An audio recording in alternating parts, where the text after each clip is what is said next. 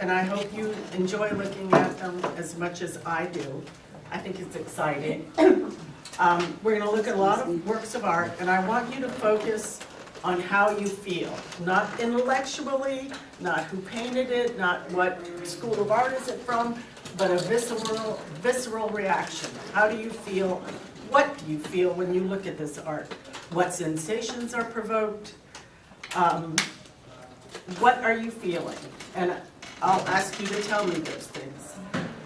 So this work, was anyone familiar with this before? I've never, I've never seen it before, but it was on a list of most famous paintings in the world. I've never seen it. It was painted in 1886. It's called Our Daily Bread by Anders Zorn, and it's the artist's mother cooking for the harvesters.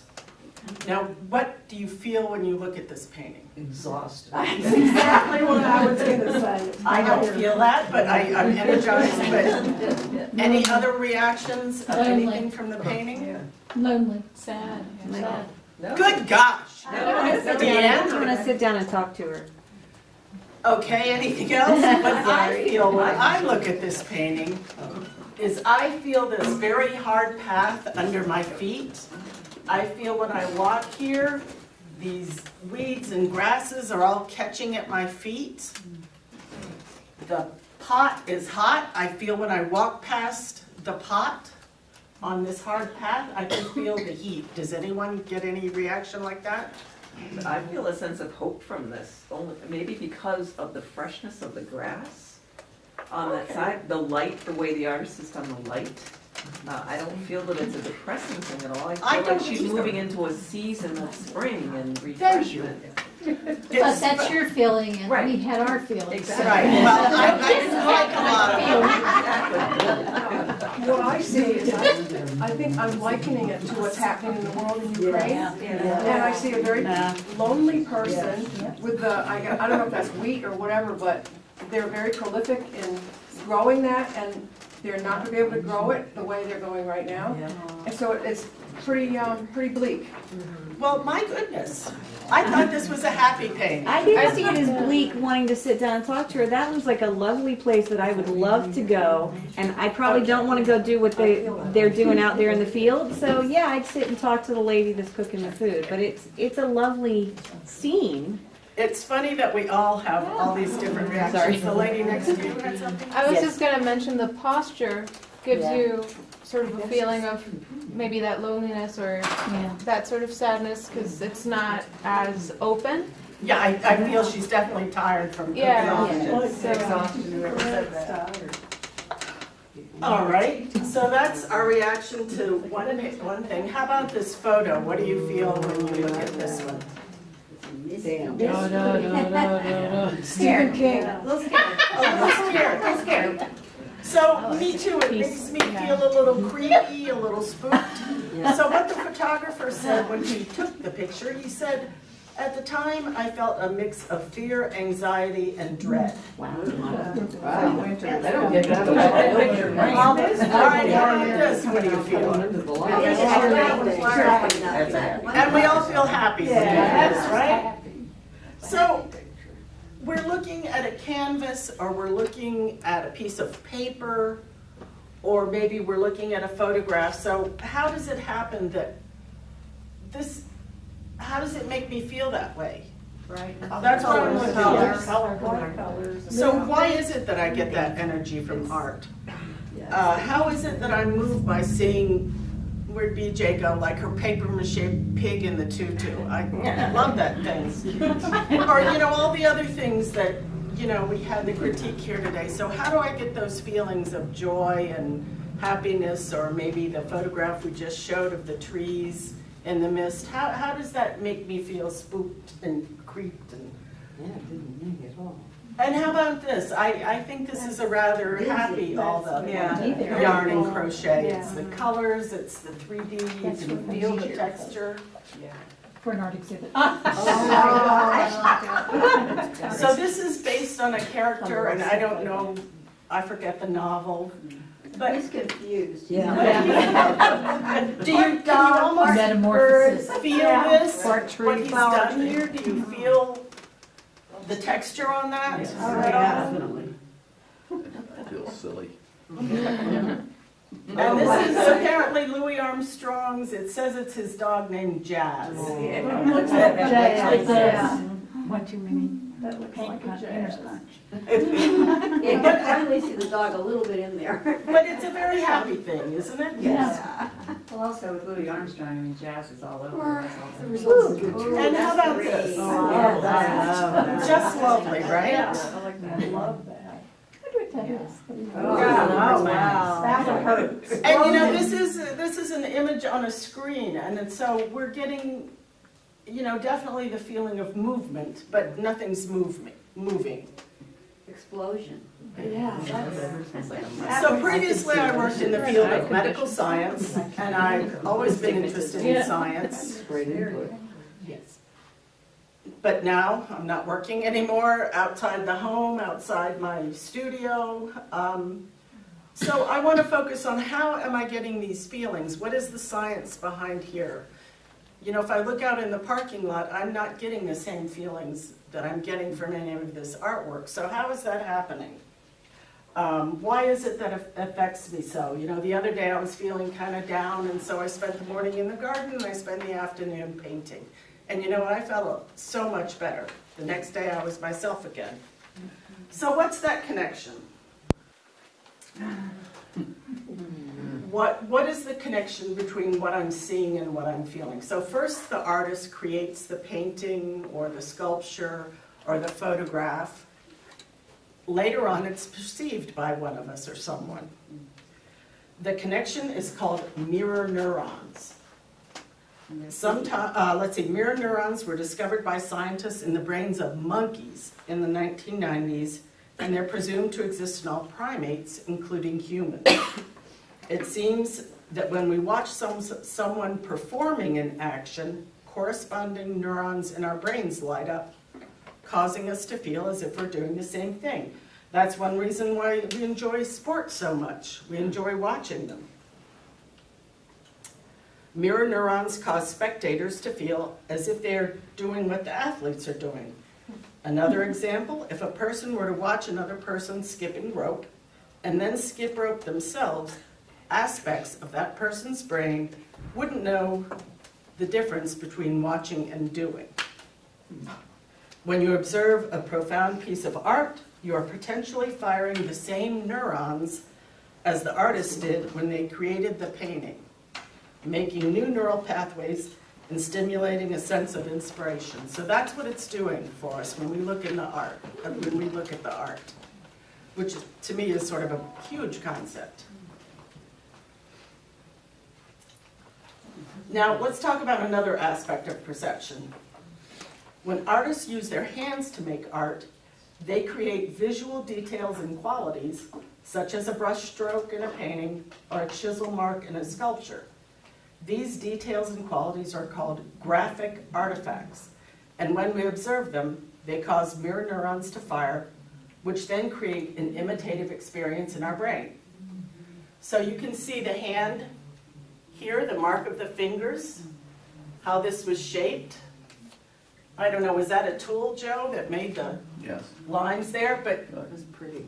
you can feel your hands on it, can't you? Maybe you can, I can.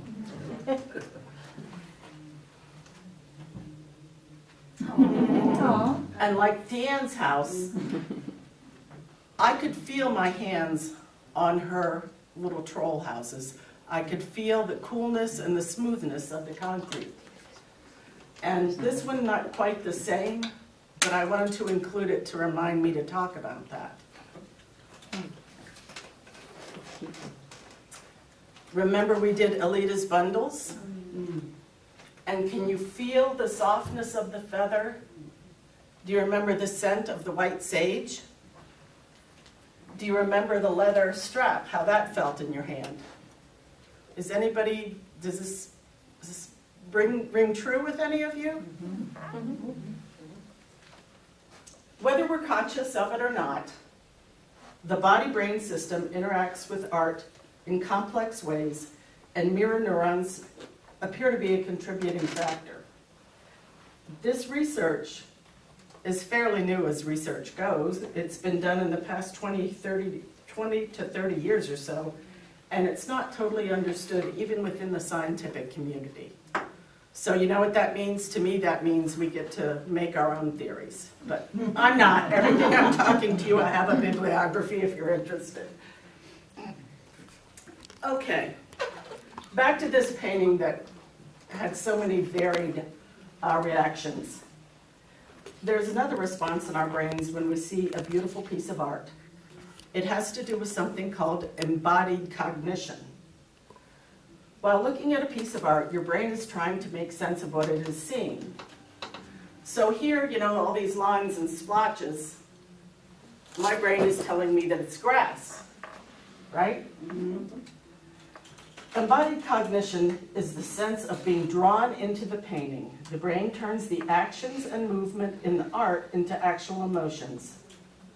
In this painting, I could feel the hard earth path and the weeds grabbing at my legs. This is embodied cognition. Now, in a Jackson Pollock, this next one is not a Jackson Pollock, mm-hmm. but can you feel the dripping? You can feel how these strokes were made, can't you? Mm-hmm. So I used to look at abstract art and, and not know what it was about. But I think sometimes maybe it's not about, I don't even remember the title of this. Maybe it's about the feeling I'm getting, not about particularly representing something.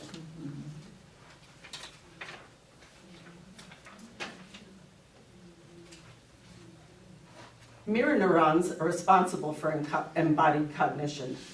Movement in our limbs, whether it's walking, running, or creating art, starts in the brain and then flows to the limbs.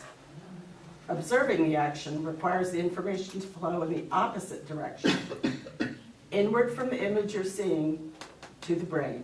So that bidirectional flow is what's captured in the mirror neurons concept. And it's thought that this is what gives that extra vividness to art appreciation. I was fortunate enough to see this painting in a gallery, and it stopped me in my tracks. Um, Anybody get any feelings from it?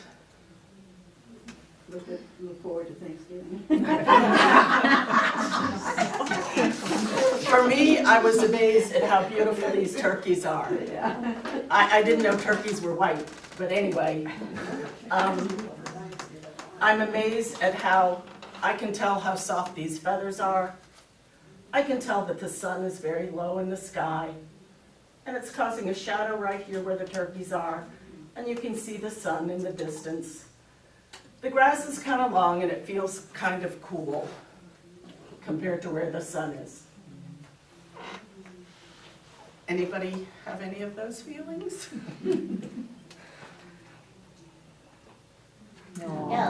Now, what do you feel about this?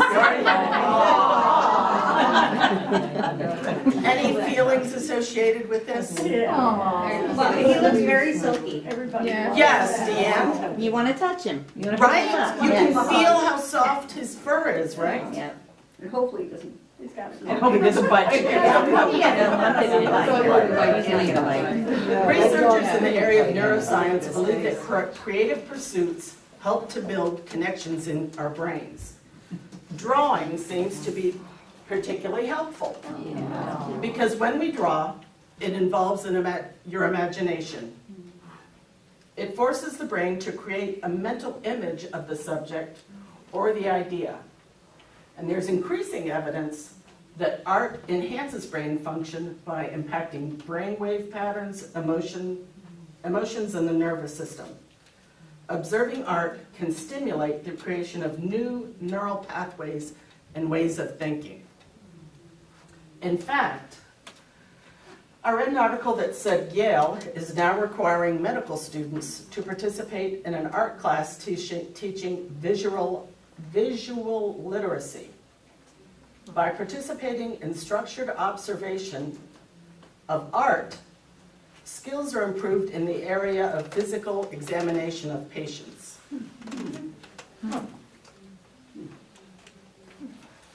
What feeling do you get from this piece of jewelry? I wanna buy it. And the flow, I mean, this is hard metal, right? And I don't know what that, is that pearl or something? Mm-hmm. Creating and viewing art can also raise serotonin levels. You know, serotonin's the hormone, stabilizes our mood, feelings of well-being and happiness. It enables brain cells and other nervous system cells to communicate with each other, also helps with sleeping, eating, and digestion. This is very sort of zen or something, huh? I don't know if it's a bracelet or a necklace or, yeah, True. but it's very calming, right? It doesn't look as soft though. Yeah, That one was more calm. That that's, oh, Painting also has been demonstrated to, pro- to provide cognitive benefits, boosts memory recollection skills, and sharpens the mind. Studies show people who frequently write, paint, and draw have less chance of developing memory loss illnesses as they age. I, I'm not so sure. Drawing not only releases endorphins, which are the feel-good chemicals that helps build new pathways in the brain. oh, yeah. Is that not lovely? Studies have shown that creating art stimulates the release of dopamine. Dopamine is released when we do something pleasurable. It makes us feel happier and more productive. An interesting fact is that artists have structurally different brains compared with non-artists. A study of brain scans revealed artists had increased neural matter in areas relating to fine motor movements and visual imagery. You can really feel the wind. in that. Can't you? Mm-hmm. Yes. I love this. Mm-hmm. As we all know from experience, a creative act can help focus the mind and it has been compared to meditation due to the calming effects on the brain and the body. Even gardening or sewing releases dopamine. Creativity reduces anxiety, depression, and stress, and it can also help process trauma. I just like this collage, I guess it's a collage. Um, it's not by the artist. I'm going to quote an artist right now and tell me if you can relate to what she's saying. Her name is Ivana George. She says, I entered, I enter an altered state of consciousness when creating my artworks. The act of creation surely affects my brain chemistry. I'm normally an easily distracted personality. However, when I get in a good mental flow of the creative process, I enter a state of hyper focus. My perception of time becomes warped, and time quickly slips away. Every good artist has self doubt. This is a normal condition which helps push us to create better artworks. With self doubt comes hesitation, and for some artists, creative paralysis. However, in this altered state of consciousness, I am able to free myself from doubt and to become more experimental. I am able to generate innovative ideas that do not surface at other times. I am in an open state of mind where I am able to take creative risks without judgment of the possible outcomes. This state of mind usually results in better artworks and the most productive use of my time. Hmm. Have you been there in that flow? Oh, yeah. Right? My, my husband says so. What are you doing in there for the past three hours, right? Dinner was ready an hour ago. Just, just five more minutes, right? My brushes are still wet, I still have paint. Viewing art engages areas of the brain involved in processing emotion and those that activate our pleasure and reward systems. The brain's default mode network, that's the area associated with internal, uh, internally oriented thinking like daydreaming or thoughts about the future retrieving memories, that is also activated. So here's a quote that I found to go with this picture. It's from Ifzal Ibrahim. Artists not only preserve a visual reminder of a memory, but they also record the emotions associated with that memory. When we view the image, whether it is one from our own memory or someone else's, we tap into that remembered emotion and relate it to our own past experiences. So does this picture of these happy little friends make you remember maybe something from your past? Right? I don't know anything about where this was or anything, but we can all relate to this, right? Okay. All right, as some of you are aware, art is used as a therapeutic tool to improve, improve focus and communication skills. Creating art stimulates the senses and allows for the expression of experiences that may be too painful to verbalize. Creating art can also improve self-esteem, because we all know that feeling of accomplishment and happiness when a project is completed.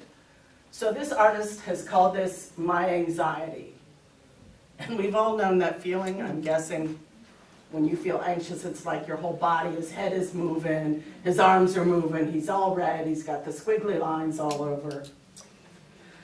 Looks like he turned his anxiety into a Power Ranger. Sometimes when I'm that, maybe not anxious, but when I'm that upset, I feel like a Power Ranger, like anything in my path, right? Research from 2016 found that 45 minutes of creating art in a studio setting with an art therapist, therapist significantly lowered cortisol levels. Cortisol is the hormone that helps your body respond to stress. The results were the same, whether you, people identified as artists or non-artists. So just being in there with the art therapist for 45 minutes, creating art, helped to reduce stress.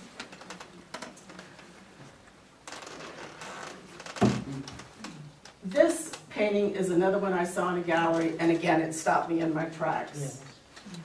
Um, The fact that this floor is so smooth and shiny, and I can feel how it feels to remove that first layer over there. That's a lot of work. Contemplation, observing, observing, and taking in beauty all stimulate pleasure centers within the brain while increasing blood flow by up to 10% in parts of the brain. This can lead to an elevated state of consciousness, well-being, and better emotional health. In fact, the blood flow increases for viewing a beautiful painting just as much as it increases when you look at somebody you love. So, does anyone get that same thing from this feeling, uh, same feeling from this painting? I thought it was an insane asylum when I first looked. at it. Oh, come on, Olivia. It's the guy in the back corner, the pose in the He's back getting corner. his tools ready. No, but I didn't, s- I got a head here, so all I saw was the back corner initially. The Anyway, guy's a little distorted. obviously I have a different, and I have different taste in art, but I think this is positive. Oh, I didn't say it wasn't lovely. Okay, this one, Oh, that again, makes me really happy. yeah. Okay, aside from the subject matter, I, I'm picking paintings that have spoken to me from a gallery. Now, this one, okay, I know the subject, subject matter, but I saw this in the gallery. And when I walked in, I was looking at the ceiling and the walls to see how they were lighting this. Oh, yeah. Look what the Goya has done with the light. Okay, it's, it's a gruesome thing. He, he, oh, he was not happy, I don't think, because he painted a lot of gruesome stuff. But the way he has used this light is just breathtaking. That is amazing. And what, do you have a visceral reaction to this at all? Creepy. Karen? I love that, that's one of my favorite pieces. I've seen that myself, just the way that veil comes down, you feel like it could blow in the wind at any second. Right? I remember seeing a statue somewhere in a gallery, It is amazing. and it was a whole body covered in a veil like this. And I wanted to touch it, but I thought I'd be shot or jailed or something. You know, you, you can't believe that this is stone or marble, whatever it is. The delicate flowers. See, Karen, we find that one creepy, and, and we both felt that the forest was very calming. That that, that I would run away from and run straight into that forest. Oh, something that I did not include today. Something I, I thought I thought it would make it too long, but maybe some other time we can have this discussion. From what I've read and prepared for this, and hearing your reactions, for instance, there are artists who I look at their work and they speak to me. Whether it's the color they use, I don't know, but I am at one with that artist and their work, I feel. So what makes that feeling? I think it must be some type of shared something. Is it the way our brains work? Is it our vision? Is it some shared experience? I don't know, but as you're saying, you know, this gives you the creeps. I don't know. Me too. And so this, I think, is Moses. You can look at his muscles and the veins in his arms and, and the hair. And the way this flows, how they, how they do that, I don't know. I think it's Michelangelo's. Moses. Yeah, I think it's, Yeah, I'm sure. The muscles and everything. Moses by Michelangelo. So to me, it- it's, you know, and what does this make me think? Oh. That's nice and serene. Right? Is this not happy? It's not even like R&B, just Everybody just goes a little. Okay, so I've got part of of the enjoyment of art is all the feelings we receive from these, uh, as Water's children. the side. but Let me read you two quick quotes. One is by Arthur, from Howard Pyle, a 19th century illustrator. He says, "Art is the expression of those beauties and emotions that stir the human soul." Uh, W. Somerset Maugham, the author, he says, "Art is a manifestation of emotion, and emotion speaks a language that all may understand." It's true, right? So let me just show you, um, sometimes when I am preparing a painting, a collage, whatever I'm doing, I feel that I don't have emotion in there. Sometimes I'm just doing it to see if I can do it, just to see what happens. Um, and I think this Escher, Oh, that is neat. you've seen a lot of his work. No. I don't feel like maybe he's trying to include emotion in his work unless it's surprise or maybe a bit of confusion. Um, so I don't think every time an artist is trying to put emotion into their work, I think sometimes it's about perspective or technique, and that's the focus. And, and maybe that's true here, I, I don't know. Um, That's awesome. so, Seeing that one. You know, if you want to put your emotions into your art, first you have to get in touch with your emotion. Peter Max was very happy, I think, when he did this. Look at the colors he's using. Um, so you can use color to express your emotion. This is called men- melancholy. Look at the color colors. in there. Exactly. So this is all bright colors and isn't life wonderful? And this is, oh my God, right? So the colors used here, certainly the subject matter is a little different. All right, we can also use light. Oh, I love that. So this is very lovely, but i- it's dark. Yeah. This is, this is similar subject matter, mountains, but it's very different look to it. Now granted, it's a painting and not a photo, but very different feel, right? I thought there was a lot more clarity in the, what you call dark. I The didn't dark, me see that as dark at all. Yeah, no, no, I I think think that's that's where where the the light light me me was was. Yeah. Okay. Oh, I love that. So this I included, I didn't include a comparison. I think the light is what you're supposed to see in this photo. Coming through the trees to me, um, the photographer used artists to create something very, is it hopeful or happy? Oh, oh, that's what I, that was what- exactly what I came up with. All right, we can also use texture. So- that's my favorite. So the Starry Night, you know, um, there's some, some places that said this expresses confusion. Uh, no, to me, it, it says lovely and he enjoyed what he was painting and he was having much. Now, so the texture here is, I will leave you with hopefully a feeling of peace and some information.